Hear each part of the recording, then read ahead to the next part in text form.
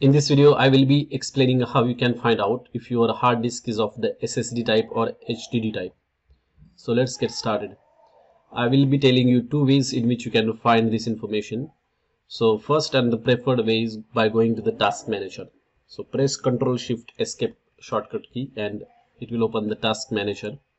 Once you are there, you have to go to this performance tab. Okay. Um, once you land on this uh, performance tab, you have to click on the disk zero and then you can see there is a type as SSD so that means uh, my drive is of type solid state drive which is the faster version of the hard disk. And there is another type which is called as HDD that is hard disk drive which is the legacy and which is very slow.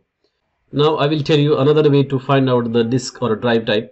For that you have to click on the start menu of Windows or you can press this uh, Windows R shortcut key and then you will uh, land on this run dialog. Over there you have to type dfrgui okay? This is the command that you have to use.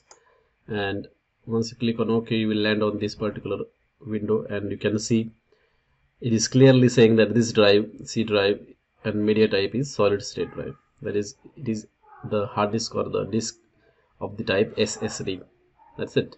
Thanks for watching